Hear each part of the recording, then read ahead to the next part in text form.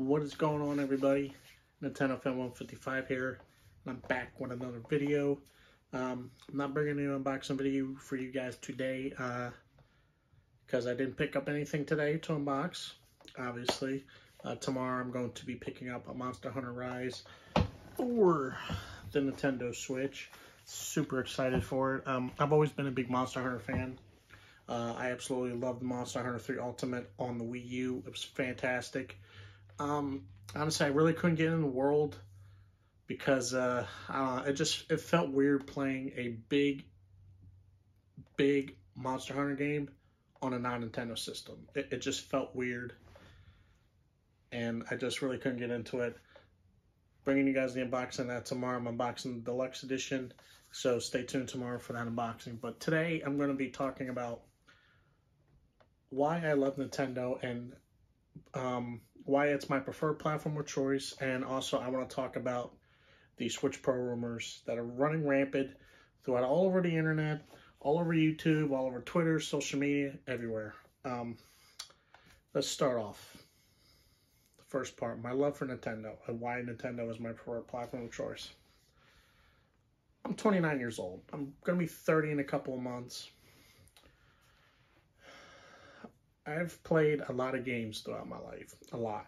And the games that have always brought me the most joy were Nintendo games. You know, Mario, Zelda, Pokemon for the most part with Pokemon Red, Blue, uh, Yellow. I really haven't been into Pokemon much since uh, after the original Game Boy games, you know, with Red, Blue, and Yellow. But, you know, once again, you know, you got games like Mario, Zelda, Metroid, Donkey Kong, um, all those games. The N64 was my childhood. Of uh, that was the system I grew up playing. So many hours on with games like GoldenEye, Perfect Dark, Star Fox 64. Star Fox 64 is in my top five best games ever. I absolutely love that game. I've played so many hours into it. I've even got it on my on my brother's Wii, which I used to play from time to time. But it's like you know, I've owned many Xboxes and PlayStations over the years. My closest friends will know me better than that. Because I've gone through multiple PlayStation this I've gone through multiple 360s, PS3s, Xbox Ones, PlayStation 4s, Xbox Series systems, PlayStation 5s, and Switches, and Wii Us. but lately I've just come to realize that when it comes to my gaming needs, I just get bored playing on an Xbox or PlayStation, or even a PC. I've had a PC in the past too. I just don't get that type of satisfaction from those systems anymore. I did when I was younger, my teenage years, you know, playing Call of Duty. Sorry, but Call of Duty 4 is probably my all-time favorite Call of Duty.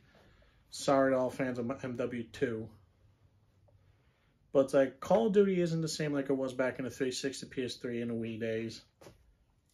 And it's just like all these big budget games, they they want to push the graphical limit, you know, they want to push these systems to what they can do same with PC. Everybody wants these realistic, realistic, stylistic gains where you know you see blood and you know it's everything. It's just I want fun gameplay experiences. That is what is important to me. Gameplay experiences. I get them from Mario, whether it's Mario 64, Sunshine, Galaxy. I'm starting to play Hades now. I've waited so long to play this game because I wanted to get the physical copy, and I absolutely love this game. You know, I, and it's right now. It's only on PC and only on the Switch, and I just want to play it on Switch because I can play it anywhere. I'm gonna talk more about the Switch's portability in a minute. And then you know you got games like Mario Maker 2. You know, a game with endless replay value. And it's a platformer. I'd rather play a platformer than a shooter nowadays anymore because I've been burnt out on shooters forever. And then, you know, you got games like Smash Brothers, you know. The amount of characters just in this game alone. It's incredible. And I I will always have fun playing Smash Brothers over Call of Duty or Battlefield, even Battlefront lately. It's just, and then you know when you got platform games like Crash and you know you got WWE Battlegrounds and you got Crash and you know I talked about shooters, but you know what? It's Plants vs Zombies, so I don't care. But it's like you know. Um, up until I played Breath of the Wild, my favorite game of all time was Legend of Zelda Ocarina of Time.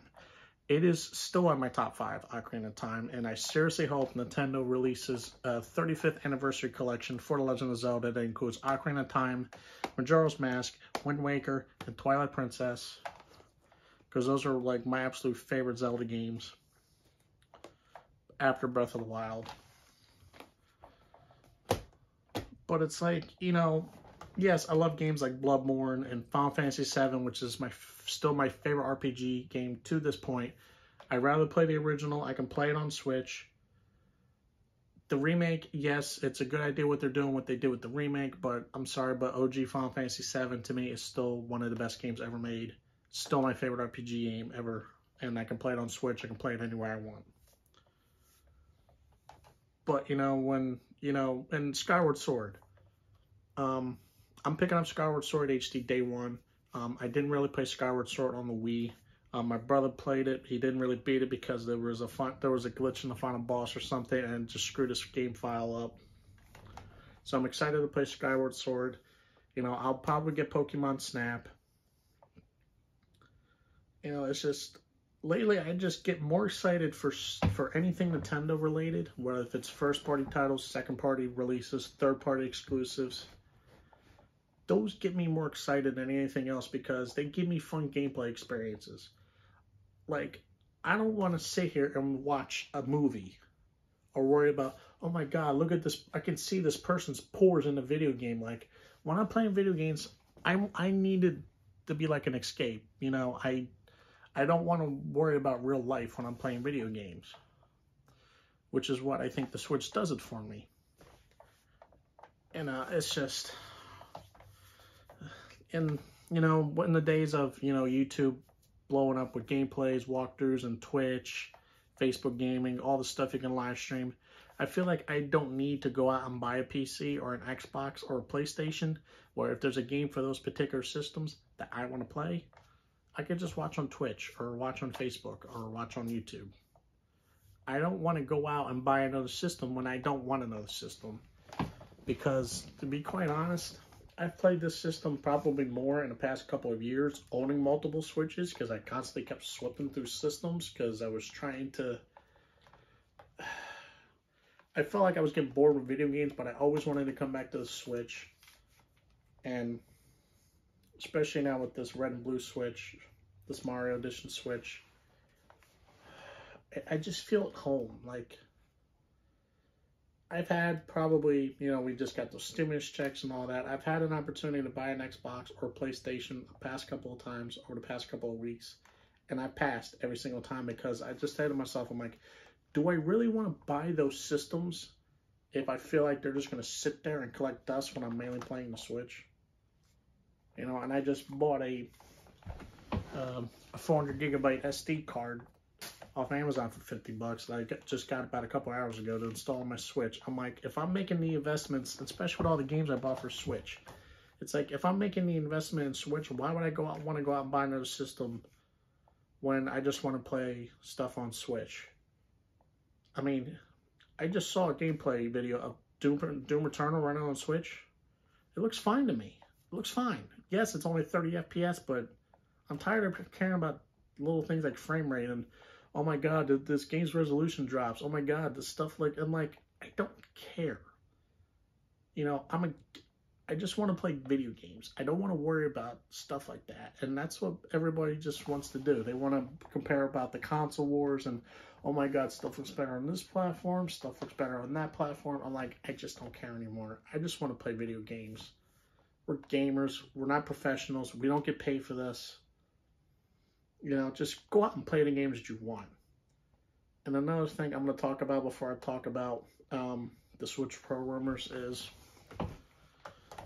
people love to throw out the notion that um, Switch has a drought going on. I'm sorry, but um, Xbox and put the Xbox Series X, S, and the PlayStation 5 and the digital edition, that's a game drought going on.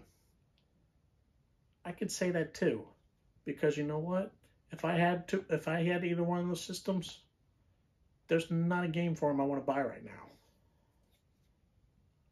There's not and there's really not maybe Resident Evil, but like I said, I could play, I could watch Resident Evil on my on a live stream or YouTube video. I don't need to go out and buy the system.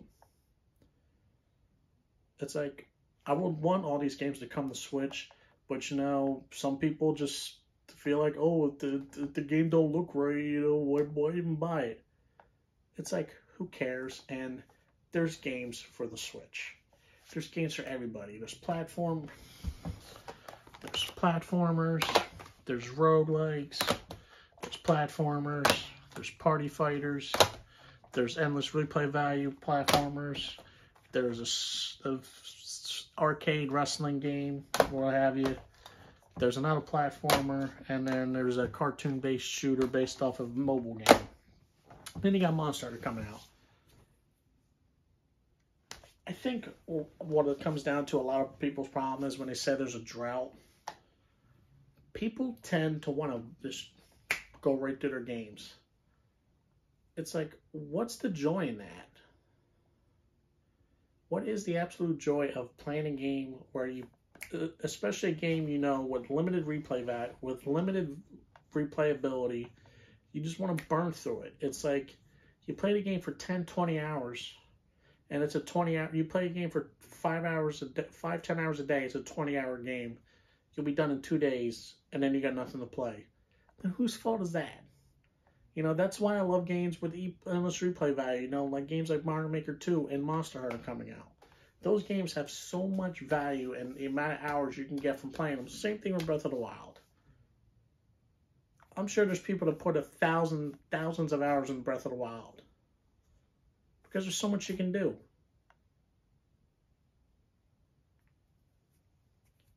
game drought. It's people just love to throw out that notion out there because another thing where I think people throw that notion out there for game droughts is they're talking AAA experiences.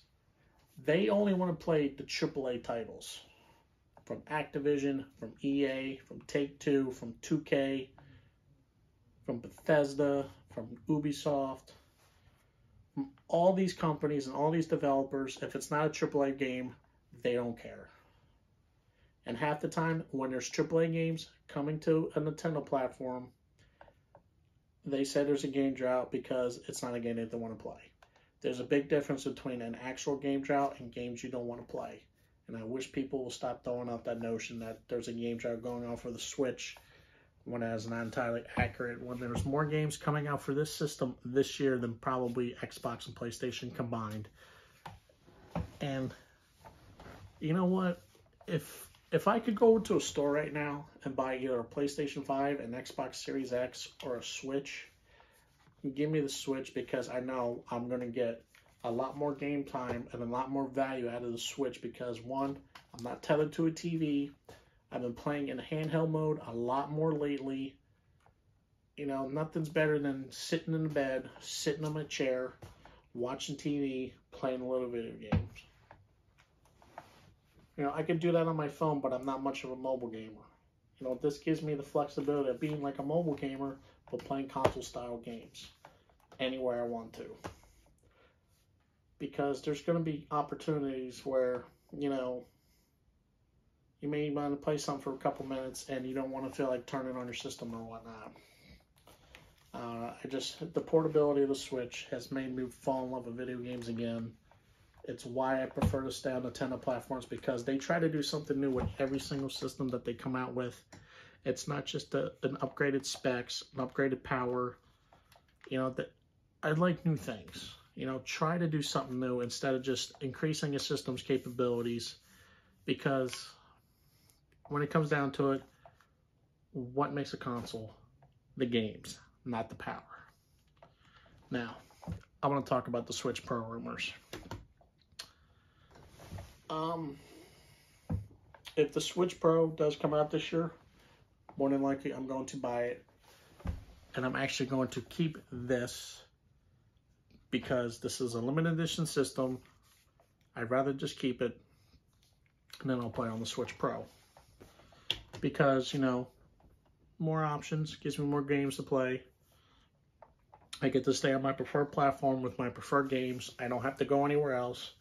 I may not get every single big first party title that comes out, or third party title that comes out that was on the other systems, but you know what? There's only certain ones I care about anyway. So, all these rumors that are coming out about the Switch Pro, because of the fact that Nintendo hasn't come out themselves and put the kibosh on it like they did in years past, especially what they did last year, yeah, um, it's more than likely happening this year, and I'm fine with it. If it's $300, $350, $400, I'm buying it because I always love getting Nintendo systems. And like I said, we'll see what happens with the capabilities. If there's more games that comes to the platform, I'm on board because to be quite honest, if the Switch wasn't around, if Nintendo was not around, I probably would have quit gaming a long time ago because, like I said, all these other games are on the other systems. Yes, they've been great. Yes, they're they're amazing, but they just don't give me they don't give me the incentive to want to stay with that platform as much as Nintendo games do with Mario, Zelda, um, Metroid, Animal Crossing, Pokemon, all the first party exclusives, all the, sec- the second party titles like Bayonetta, um, and third party titles like no, no More Heroes, all that stuff. And Monster Hunter, I'm just, I'm excited for the future of Nintendo. I'm going to continue to keep bringing you guys good quality Nintendo content, whether it's unboxings, more discussions like this, possibly might start doing game reviews. I'll let you know on that one. But yeah, I just wanted to get this video out there because I feel like I needed to do some type of discussion video, talk about what I think is going on with Nintendo, why I love them, why I prefer to stay with them, and overall just, you know, explain to you guys, you know, why my name is what it is. I've grown up with Nintendo. I probably will die with Nintendo. But the future, the, the point is, I'm sticking with what I'm sticking with. I don't see it changing. And I'm okay with that. 100%. 100% okay with that. But anyway, this video is dragged on long enough. Um, did some rambling, but you know what? It was entirely worth it. I wanted to get this video out there. So yeah. Um, if you guys like this video, please be sure to comment, like, and subscribe. And also, if you want to throw in any suggestions, what you'd love to see from me in the future. Um, I love doing videos you know, it's a way for me to, you know, after busy days of work, just come home, relax, unwind, throw some good quality content out there for you guys. So yeah, just hit me up in the comment section down below if you have any suggestions of what you would like to see from me do in the future. And as always, guys, this is Nintendo Fan 155 signing out. Have a good night. Peace out.